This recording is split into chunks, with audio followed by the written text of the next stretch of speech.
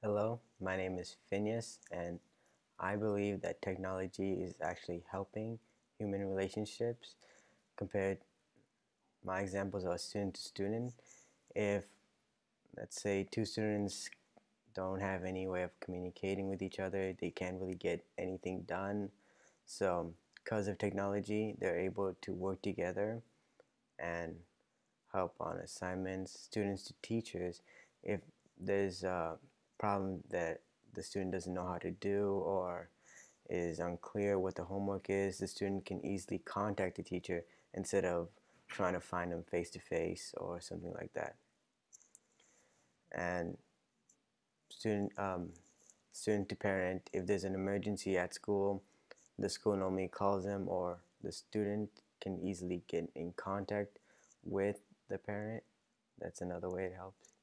And parent to teacher, we all have like we all remember the days when the teacher will give you an envelope and tell you to give this to your parents and your parents only and you would open it up and not show your parents. So it's more trusting it's easy to get to and it's a lot faster to get in touch with your parents if the teachers need to.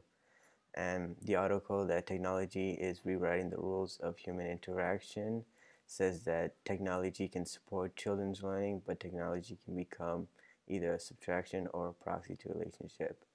Although that technology is reducing people skill, it uh, the article how technology is improving our human relationship says that digital technology also allows for continuous, more regular interactions, participating with either or desire to meet with with a person, meaning although that technology is reducing people's skills, it's allowing for more continuous, regular interactions with people.